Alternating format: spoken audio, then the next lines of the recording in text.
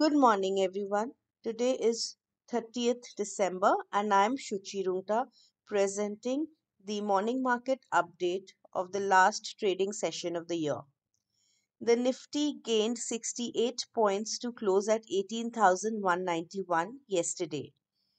Bank Nifty led the rally and did all the right things in yesterday's session, crossing the moving averages and closing above the same.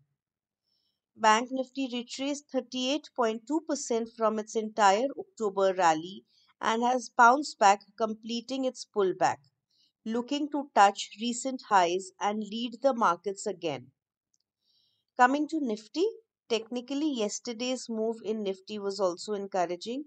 The index tested its 50% retracement of the entire rally starting from October and has bounced back. Looking at the price action and market breadth, we feel that yes, the pullback might be over and a close above 18,250 on Nifty will take it higher to test 18,750 levels. The level of 18250 is important as multiple indicators coincide here. 17,780 now becomes the new base for the bulls. On the short term 75 minutes chart, we also see a bullish inverse head and shoulder pattern completion and breakout supported with volumes in the last hour yesterday, which also gives the conviction that yes, the bulls are back. Sector wise, metals and banks remain the strongest of the lot.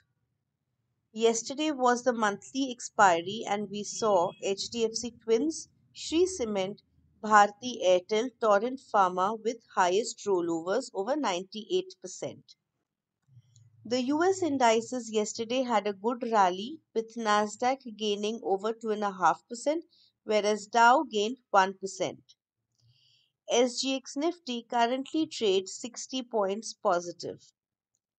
To conclude, all is well at the face of it Today, being the weekly and the monthly closing, all eyes on it to get the final confirmation. Levels for the day Nifty support will be seen at 18,000 and 17,778. Resistance 18,240 and 18,300. Bank Nifty support will be seen at 42,500 and 42,100. Resistance 43,600 and 43,900. Thank you.